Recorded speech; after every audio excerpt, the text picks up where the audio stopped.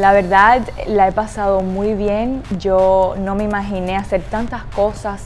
Yo solo pensé que mi primer año cuando comencé iba a bailar en el campo, pero la verdad he podido viajar por todo el mundo, he podido estar en la comunidad ayudando a mucha gente que lo necesita.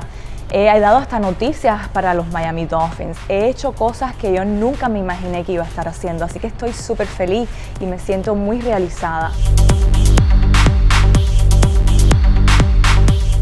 Yo pienso que una de las cosas más difíciles para mí en específico ha sido estudiar y bailar a la misma vez. Eh, yo tengo un schedule muy difícil, pero siempre he priorizado el baile y siempre lo he hecho todo al máximo. Siempre he tenido que luchar un poquito más.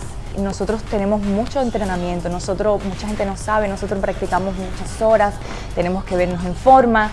Eh, tenemos que tener una buena imagen, hablar bien, eso es un paquete de cosas. Entonces, pienso que lo más difícil ha sido eso, ha sido mezclar esas dos cosas en mi vida.